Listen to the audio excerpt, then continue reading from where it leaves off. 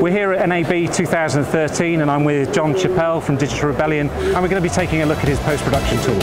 NAB is brought to you by X-Effects, Final Cut Pro 10 plugins from industrialrevolution.com. Okay, Jon, can you show us what we what we have running here? Yeah, well, here we have Cut Notes, and uh, this is version 2.0, which is a significant overhaul of the app. What we've done is we've listened to a lot of customer feedback, and um, we've uh, darkened the UI, so it's a lot better um, in a screening room uh, with the lights out. Um, we've got button sets that you can flick through. So you can you can create different buttons for different purposes. So you can have uh, sets for mixing, sets for grading, sets for editing, anything you like. And um, what Cut Notes is really good for is for saving time during a screening because um, you know, I've always found myself, um, you're sitting in a screening room, you've got um, the time code overlay, and then you've got to write down all the time code, Yeah. and then the notes, Yeah. and then you look up and two minutes have gone past. Yeah. And so Cut Notes is really cool because it syncs up with the time code in a lot of common applications. Final Cut Pro 6 and 7, Final Cut Pro 10, Pro Tools, Adobe Audition, Adobe Premiere. And so um, it's automatically synced to the time code. So all you do is there are preset buttons for certain tasks, for common things you want to do. So you can just press the button and it saves a note um, for that task. And if you want to make something more complicated, then you can just press the keyboard button and type um, your own note, like change shots. And you can really take your time um, writing it because uh, it will log the, um, the time that you first started typing. So um, no matter how long it takes you to type it, it will automatically insert it there. So rather than being kind of like five seconds behind, Right. look at the code, look down, Right. it's in the dark, Right. got to get the code, write it Right. down, what was it, and then it's five seconds off. The moment the moment you hit it, it, it, it instantly marks that Right. that code. And um, in some applications, um, depending on support, you can also control it and pause it um, and rewind, etc., uh, actually directly on the device, which is very useful. Um, and you can uh, view your notes, uh, go back to them, edit them, delete them very easily, and then you can export them to a range of formats. And um, if you want to get them into Final Cut Pro 10, then it's pretty easy. We've got um, an additional tool on our website that's free to download that'll do that. So when I bring that back into Final Cut Pro 10, Yeah. how does it appear? Does because obviously I've got my cut sequence. Does it appear Yeah. as a, a new sequence with, Yeah. with with markers on it? Yeah, it creates um, a duplicate of the sequence Right. um, with markers. So I've got my original, and then I Yeah. can just look at the new one, Yeah. and then go go and flick between the markers Yeah, and have a look that's at those. Okay. Yeah. I mean, I don't have to match it back up to anything. No, no. Okay. So it's pretty, it's pretty simple, pretty straightforward.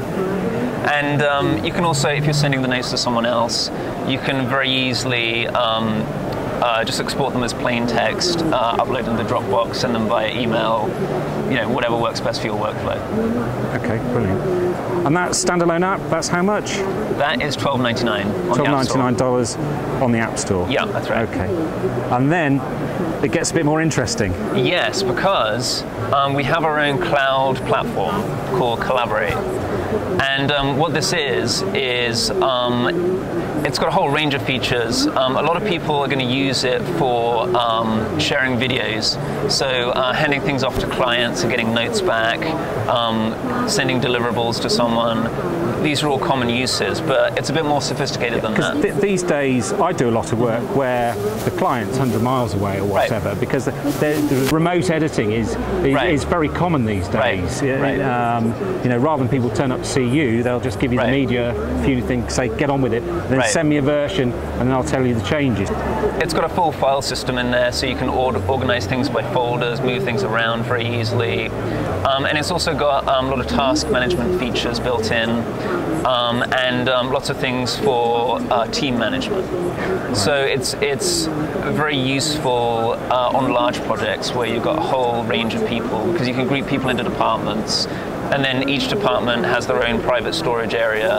Um, people aren't getting bombarded with alerts for the entire project. I was going to ask about security because Yeah. there's obviously people who make stuff that's a bit sensitive. Yeah, not everybody can see what's online. Whereas, Right, whereas right, some people might just put something on an FTP server or even Right. YouTube or, Right. or Vimeo and say Right. that's not going to happen. Um, Right. This is all secure. Right. They'll get a link or sent a Yeah, link that, that yeah. they'll go onto. And yeah, you can um, assign tasks as well. And um, what's cool is that you can actually, um, as you create a comment on a video, you can automatically turn it into a task. Right. So if the task, if the comment was um, change this shot, you can change it into a task. Um, other people on the project get alerted, and um, they can begin doing that task before you've even finished watching Right. okay. and then and then they can mark it complete when it's done, cross it off the list.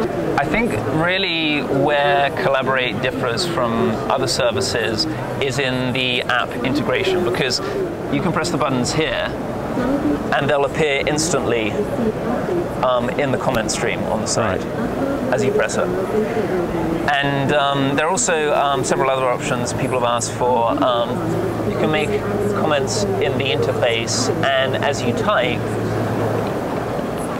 it will automatically pause. It'll tell you it's inserting it Right. there. Kollaborate's service, how much is it going to cost me to, to, to run? Well, it, it really depends on what you need. If you're a freelancer, we're doing a special offer right now. Um, you can get it if you order a year in advance. Um, you can get it for fifteen dollars a month, um, and that gives you two gigs, two gigabytes of storage space and up to five users.